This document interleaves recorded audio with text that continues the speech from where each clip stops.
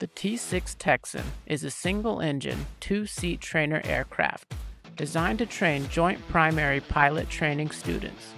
With stepped tandem seating, the Texan is used to provide students with the basic skills necessary to progress to one of four training tracks, including strike aircraft, airlift and tanker, turboprop, and helicopters.